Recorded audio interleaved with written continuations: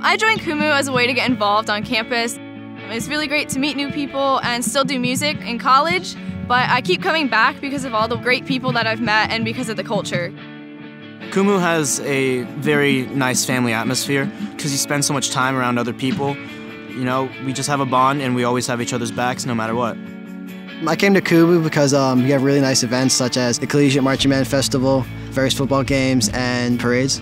Yeah, I just really enjoy the, uh, the thrill of performing at those events in front of all those people. There's a lot of people on the field who also are making the same exact sound as you, and it's the collective that really makes the performance that much better. So you're part of something bigger.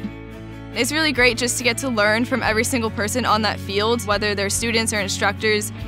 I've been doing it for the past couple years, and I really recommend it because it's a really positive and friendly environment. And uh, I hope to see you guys next year. I really do.